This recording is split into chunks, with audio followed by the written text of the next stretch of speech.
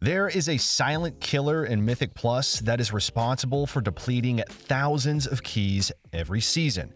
And it all starts here, with the formation of the group and how key holders form their party. There is a huge difference between good and bad comps in Mythic Plus, and if you don't have the right tools, then your chance at depleting a key skyrockets. Now, on the flip side, having a well balanced comp is almost like a cheat code and can make dungeons infinitely easier as long as you know what coverage you need for each dungeon. And today, we're going to show you how to form your groups in order to have the best chance at timing runs. Now, don't worry, we're not going to gatekeep any of the off meta specs. Instead, we're going to give you a step by step guide on how to make sure everyone can be included. Now to do this, we're going to start with the core essentials every group needs no matter what. Then we're going to add an accessory layer, which includes highly recommended tools that help minimize wipes, not required, but definitely useful. And finally, we'll have an extra credit category, which include miscellaneous quality of life improvements. The higher you can build this pyramid, the stronger the group will be. So stay tuned as we give you the ultimate guide on how to form your group for Mythic Dungeons in Dragonflight Season 2. But before we get into it, if you haven't already, be sure to subscribe to our channel and tab target that bell icon to be notified when we release new content. For now, let's get started.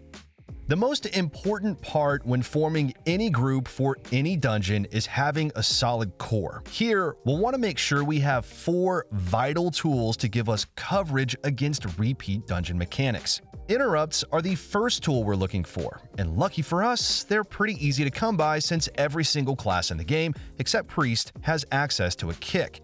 Now, with that said, we can optimize our group to have the best possible interrupt coverage. Ideally, we'll want at least two melee interrupts, and while it's not 100% necessary, we'll also want one ranged interrupt. Getting two melee kicks shouldn't be too difficult since tanks automatically provide one, and even Holy Paladins and Mistweaver Monks can add additional kit coverage for the healer side of things. Ranged interrupts are important too, but they can be less reliable overall due to their longer than average cooldown, with the exception of Wind Shear, of course, which is arguably the best kick in the entire game for Mythic Plus. Having one ranged kick in your group is useful to overcome any positional limitations for melee, or even for grouping up caster mobs like on the Bromach fight in Uldaman where the Geomancers can be pulled into the group with a ranged interrupt. During fortified weeks, having multiple kicks in your group is even more vital since trash is obviously more deadly. Giving your group additional wipe coverage is a no-brainer here. Even if someone misses their kick, there's enough backup to compensate. And on top of interrupts, every group should also have multiple stops or micro CCs in order to deal with spells that can't be kicked normally or to cover any additional casts in case everyone's kick is on cooldown. Stops come in different forms, including stuns, AoE disorients, and knock effects. And there are obviously more CC categories, but these three in particular are the most ubiquitous. AoE stops are quite effective for dense trash pulls where multiple mobs have uninterruptible mechanics. Take, for instance, the fighter mobs on the beach part of Brackenhide Hollow. There's often two to three fighters per pull, and they'll periodically fixate on players, which can't really be dealt with using single target stops alone. Having a mix of both single target and AoE CC is ideal for consistent coverage against every trash pack, not just to stop multiple casts, but even to provide the tank with some breathing room if it's needed. Enhancement Shamans are a great example of a class with great AoE CC, which includes Sundering, Thunderstorm, and Capacitor Totem. If you play Enhance or any other class with multiple stops, you should definitely take advantage of it as these tools are insanely effective for minimizing wipes. And speaking of preventing wipes, combat reses are extremely helpful on that end, and we're including them as a core tool you should have in every M Plus group. Full wipes are the bane of any run, whether it's in a pug or in a pre-made, and at any time are enough to brick a run. Having a combat or a battle res is one of the most effective tools for preventing a full wipe, especially when it's the tank who has aggro on the floor boss. Mythic dungeons, they're all about inertia after all, so being able to keep up momentum instantly with a combat res is vital no matter who it's on. There are four classes that can provide battle reses on other players. The short list includes DKs, druids, paladins, and warlocks. Now, technically, every shaman spec can res themselves too, and resto shamans even have a janky combat res totem, but we're not counting these as true battle res mechanics. And for slightly different reasons, we're also not including the engineering tinker res, unless you like to gamble, of course. Now, in any case, having at least one combat res mechanic is ideal. But if we really want to min-max, it's optimal if they come from ranged DPS and even healers, and generally not the tank since their resource requirements can take away from survivability. Now we have three out of four essential tools needed for Mythic Dungeons, and that leaves one more. And this one's a bit controversial here, and some of you might already have guessed what it is. But if not, it's Bloodlust. Some players might argue that Bloodlust isn't actually needed for Mythic Plus, I mean, after all, if you do the math, the additional haste gained on average across the entire run really isn't actually that meaningful. While this might be true, the power increase Bloodlust provides during its brief windows is what truly matters. Lust makes those difficult pressure points much more manageable. Now, even though it might only be pressed a handful of times every dungeon, it not only helps increase scoreboard damage, but also minimize deaths. There are four major lust effects in the game, coming from shamans, mages, and evokers, which are all meta classes currently. Hunters also have their own similar effect, but are generally considered off meta in higher keys. We should also note that there are leatherworking drums that can also provide a weaker bloodlust effect, which isn't exactly ideal, but definitely worth bringing if you don't have coverage from the classes that we just mentioned. And with that, we have the base of our Mythic Plus group. No matter what, we'll need multiple interrupts, ideally a mix of melee and ranged, then we'll need some stops, both single target and AoE. Following this, it will be immensely helpful to have a battle res to prevent full wipes, and finally, a dedicated Bloodlust class if possible. Now, the last two can be optional, but playing without a battle res or lust is needlessly risky if it can be avoided. Now we have to add our next layer. This is where we'll include some accessories here, aiming to gather three additional tools and while these are not as critical as our core, they will make every dungeon much easier. But before we move on, we have a huge disclaimer here. The following three mechanics are definitely not required in Mythic Plus, especially for casual, lower level keys. So, when forming groups, simply take the following information into consideration and avoid gatekeeping players just because they don't have one of these fancy tools. With that out of the way, it's very helpful to get additional dispel coverage coming from our DPS and even our tank, especially against poisons and diseases. The dungeon rotation this season includes loads of powerful disease effects, so having a paladin, priest, monk, or even an evoker in the group can help give you some much needed coverage in various dungeons. Poisons are also quite strong this season and can be removed by druids, evokers, monks, paladins, and even shamans. On a fight like Neuraxis, where there's a massive group-wide poison, shamans get extra value for the ability to AoE dispel Toxic Retch off the entire group. In fact, the strength of diseases and poisons are why dwarves are so powerful, since you can counter entire mechanics with Stoneform, the most giga chad racial in all of Mythic Plus. And speaking of countering mechanics, Mass Dispel deserves its own shout out here. Just like having additional disease and poison removals can make runs more manageable, Mass Dispel is borderline required for pushing the highest keys. Dungeons like Uldaman and Halls of Infusion have some deadly group-wide magic debuffs, which can give healers trouble due to the 8-second cooldown on Magic Dispel. But with MD, it's almost like these mechanics just don't even exist. And on top of having additional Dispel coverage, it's also helpful to have off healing because, let's face it, there's some nasty healing checks this season, and being able to help out your healer by any means necessary is a huge plus. And there's obviously a bunch of different specs that can off heal, but the most efficient form of off healing comes from passive sources. Abilities like Nature's Vigil, Ancestral Guidance, and Vampiric Embrace are all very convenient since they don't require DPS to stop their damage in order to heal. Because of this feature, it's no wonder that Shadow Priests and Guardian Druids have been quite popular at the high end of the ladder. Does having off healing mean you're going to automatically time every run? Of course not. And in order to be diligent, you should still fall back on any self healing options, even if your team is stacked with OP hybrids.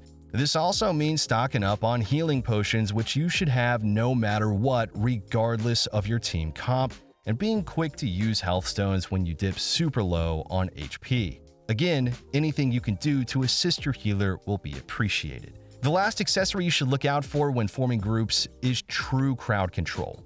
Now, this is different than the micro CC that we talked about earlier when it comes to mob control. True CC includes spells that allow you to bypass certain trash packs, like Imprison or Sap for instance, since they won't draw aggro from enemy mobs. True CC also includes any form of long-lasting crowd control that can help deal with Incorporeal, which include effects like Hex, Polymorph, Sleepwalk, and so on. Outside of Incorporeal, and for saving time on very specific trash packs, having True CC isn't 100% necessary.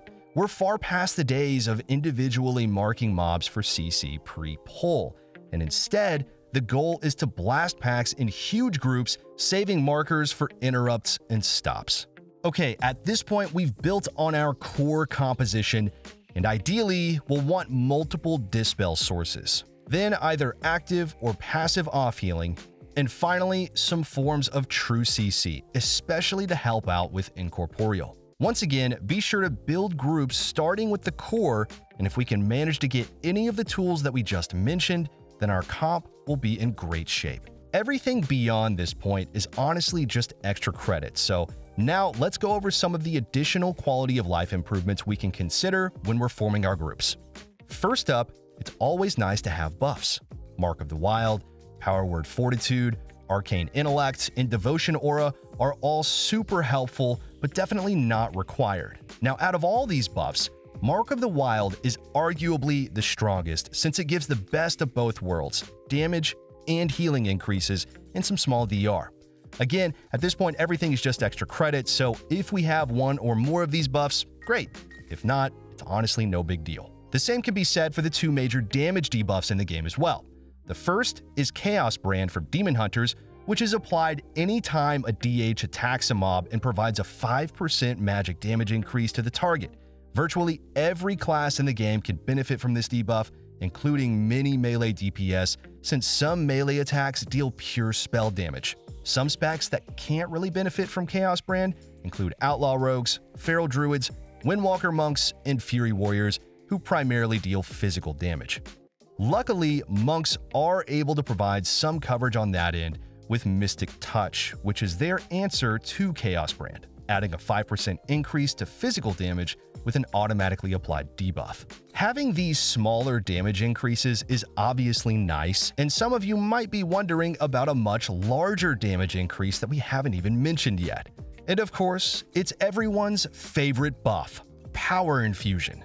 Don't get us wrong, PI is really strong, but not 100% necessary for timing keys. The damage increase it provides is pretty significant for a select few specs, including Devastation Evokers, Balance Druids, Demo Warlocks, Fire Mages, and Frost DK, among others. Other specs that are less reliant on haste won't benefit as much from this external buff. Having a priest in your group will not only give you PI, but will also give you Mind Soothe, which is another great tool to have. This single ability allows for greater flexibility with roots and can save a bunch of time by being able to skip troublesome, inefficient packs. Again, at this point, we're just looking for extra credit, and Mind Soothe definitely fits that description. Performing a similar role is Shroud of Concealment for rogues, and as of the latest patch, Mass Invisibility for Mage, which are both designed purely to increase efficiency, and just like Mind Soothe, these are nice abilities to have in your group, but they're certainly not required and having either one of these in your group on top of Mind Soothe can be a bit redundant, especially considering invisibility pots can perform a similar function to both abilities. Finally, for even more extra credit on the defensive end, we might want to consider having some strong AoE externals coming from a source other than our healer. Abilities like Rallying Cry or Zephyr are useful to have more wipe insurance being able to survive pressure points is the number one way to time a run, so might as well make sure you have multiple ways to make sure your group doesn't die. We're also going to throw augmentation evokers into the extra credit category as well, due to their wide array of buffs that can be beneficial to any group, including damage reductions, main stat modifiers, and even speed increases, just to name a few. We know augmentation has been a bit controversial, but unless you're pushing the highest keys, it's by no means necessary for most groups. At this point, we've built our entire Mythic Plus group pyramid. We started with our core, which includes the foundational tools that we'll want in our group no matter what. As a group leader, avoid playing without any of these ability types whenever possible, especially for higher keys. Beyond this point, we can help fill out our group with some accessories which aren't 100% necessary, but definitely recommended. And finally, add flavor to your composition with some of the extra credit abilities we covered in the miscellaneous section. The higher you can build this pyramid, the stronger your composition will be, and for pushing the highest keys, you'll want the most coverage possible. If you spent any time looking at the leaderboards, you might have noticed that there is a ton of overlap in group composition. This is no accident. Right now, Holy Paladins are able to provide almost everything in our core category, including a melee interrupt, both single target and AoE stops, and these days, even a battle res. They're able to provide all of this tech as a healer of all things, with Bloodlust being their only missing piece. Well, at least for now. At this point, it should be obvious why Holy Paladins are in high demand for higher keys, since they simply offer tons of value in one complete package. Now, does this mean you absolutely need a Holy Paladin in your group? Absolutely not. Most classes are able to provide at least two elements of our core, which simply means filling any gaps before adding any other accessories. Group comp matters the most when it comes to higher keys, and generally speaking, there are only a handful of comps that can truly handle the highest level mythic dungeons. That's why when you watch the MDI or the Great Push, you tend to see the same specs represented time and time again simply because they tend to offer the most coverage. So, as a group leader, don't ignore a clash just because it isn't exactly the most meta, but try and make sure your group is well rounded, with the greatest variety of answers to every dungeon's toughest problems.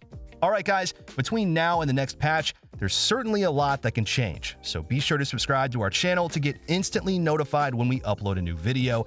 And while you're at it, let us know in the comments below what videos we should make next. If you have any great ideas, we'd like to hear about them. As always though, we want to thank you all for watching, and we'll see you soon.